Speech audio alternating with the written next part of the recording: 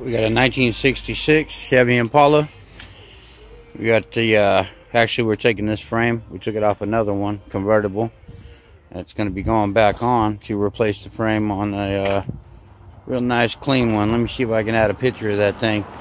Taking the hydraulics off the uh, other one though. Getting this one back in, but we got a lot of patching to do. First try to clean it up. Get the rest of this A-arms, front uh, coil springs, all everything off. Gotta replace these perches too. These are pretty bad shape. A lot of the metal on it too. If you look along it, for instance, uh, we got some heavy rot right here.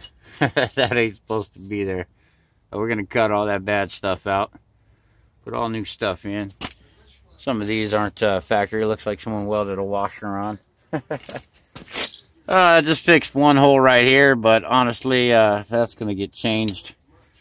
Um, I'm to go ahead and wrap, wrap it. Uh, some places cut out all the bad stuff. But yeah, you can see this thing is pretty well, uh, pretty well corroded in and out.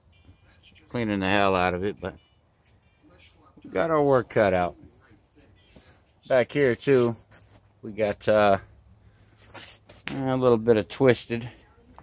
Mm, like I said, add some new metal. Get this thing all good to go.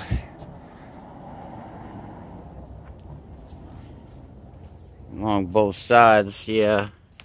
Seeing there's a lot, a lot going on right here. On these sides. Yes. Like all the perches and stuff are out of it, but we'll get it all wrapped up. Slow process.